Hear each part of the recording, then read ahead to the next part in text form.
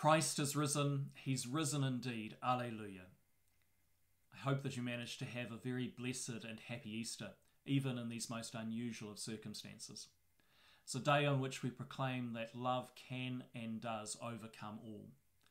In the face of all that would seek to deny or to destroy it, love overcomes. In the face of selfishness and of greed, of this pursuit of power, of violence and even of death, God's love overcomes all. At the heart of that love is the call on each one of us to live in that way, uh, to follow in the footsteps of the servant king. And we know that that love is not something which seeks to control or to manipulate. It's freely and unconditionally given.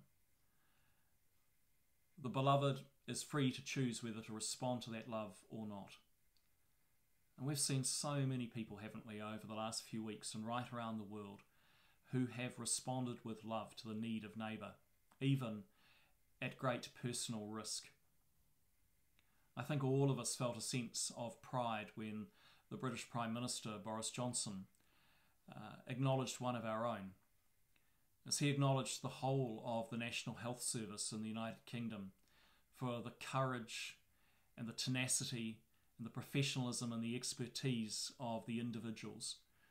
Those, whether they're doctors and nurses or whether they are cleaners, those who cook the food, that all were contributing to the eventual overcoming of this virus in that country. And in the middle of that, his own illness and his own uh, journey which depended so much on the skill of those others uh, to save his life. And in particular, he acknowledged Nurse Jenny of Invercargill. I have seen over the last few weeks uh, the work of so many individuals reaching out in quiet and sensible ways towards their neighbour.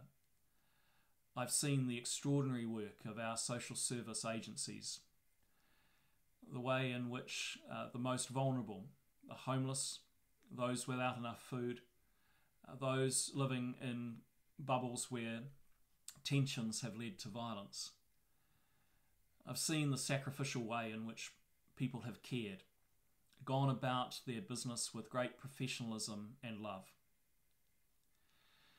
And as we move now to the possibility of moving from level 4 alert uh, to levels where there will be greater freedom and possibility for social interaction, we need to make sure that our most vulnerable are not put at increased risk.